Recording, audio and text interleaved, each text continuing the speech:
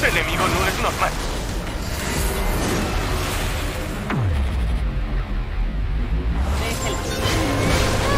Gracias a la demo de Stellar Blade hemos podido jugar el inicio de la aventura, una sección que hace las veces de tutorial, pero que nos ha permitido entrever el potencial que tiene este exclusivo de PlayStation 5. Aclarado esto, lo que nos hemos encontrado en ella es un juego de acción que tiene muy claro su objetivo, hacer de sus combates una experiencia gratificante y espectacular que nos divierta tanto por sus mecánicas como por el estilo con el que despedazamos a nuestros rivales. En líneas generales, los controles son muy sencillos y nos permiten realizar todo tipo de combos alternando dos botones, algo lo que hay que sumarle técnicas especiales que consumen la energía que generamos al luchar y la posibilidad de esquivar, bloquear y saltar. Por supuesto, podremos realizar esquivas y paradas perfectas si esquivamos o bloqueamos en el momento justo en el que vamos a recibir un golpe, algo que el título ejecuta a la perfección y resulta tremendamente gratificante cuando nos sale bien, por no hablar de lo divertido que resulta bailar con nuestros rivales y leer sus patrones para saber cuándo debemos hacer una parada y cuándo quitarnos de en medio. A estas maniobras defensivas debemos sumarle una tercera que nos ha encantado por lo espectacular y satisfactoria que es. Como en muchos otros juegos,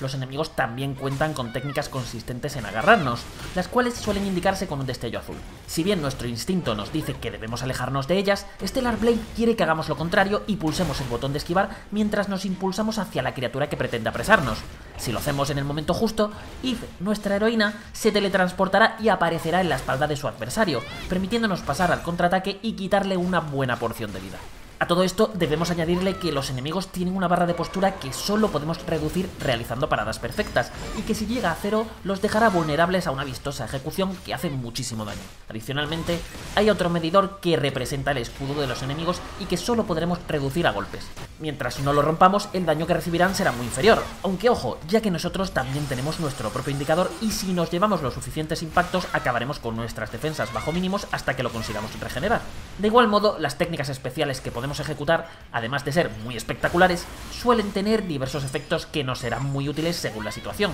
ya sea dañar el escudo del contrario, interrumpir la ofensiva del rival, hacer mucho daño o realizar un amplio tajo que nos permita alcanzar a varios monstruos a la vez. Todo esto da forma a unos combates que al principio pueden parecer un poco toscos y relativamente torpes, una impresión que va cambiando rápidamente a medida que vamos entendiendo sus mecánicas, nos hacemos al timing de las paradas y las esquivas y adquirimos nuevas habilidades que van ampliando nuestras posibilidades para desatar combos que son una auténtica locura, dejándonos con unos enfrentamientos que prometen ser profundos, desafiantes, ágiles, satisfactorios y, sobre todo, divertidos. Más allá del combate, no hay mucho que podamos decir, ya que los escenarios que nos han permitido explorar en esta demo son extremadamente lineales y no dejan mucho margen de maniobra más allá de algún desvío para dar con algún cofre, aunque sí que nos han mostrado momentos con algo de plataformeo, escalada, buceo e incluso pequeños puzzles. Si esto se aprovecha bien y el diseño de niveles acompaña, el desarrollo de la aventura podría verse muy beneficiado. Lo que sí que nos está dejando muy fríos es su historia, al igual que sus personajes. Durante estos primeros compases en los que nos narran cómo Eve es enviada a la Tierra con el objetivo de recuperarla de las criaturas que la han invadido,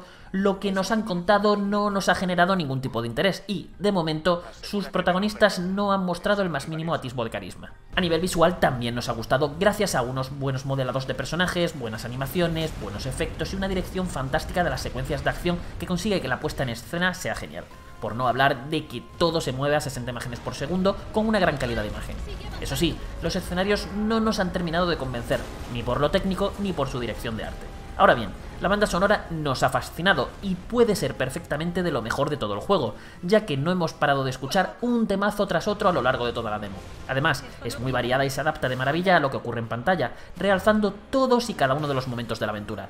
Los efectos también mantienen un buen nivel y la sorpresa la tenemos en que el título nos llega con voces en español, algo que siempre es de agradecer, aunque en este caso concreto el doblaje nos ha parecido simplemente cumplidor. Nuestra primera toma de contacto con Stellar Blade ha sido positiva y, al menos, todo apunta a que va a ser un juego que nos va a ofrecer buenos combates, mucho espectáculo y una banda sonora para recordar. Todavía quedan muchas dudas en el aire en cuanto a cómo irá evolucionando el diseño de niveles, si habrá la suficiente variedad de enemigos, jefes y situaciones, o si la historia logrará arrancar, pero ahora mismo nos hemos quedado con muchas ganas de seguir jugando para descubrir hasta dónde será capaz de llegar. ¿Estamos ante una de las grandes sorpresas de 2024?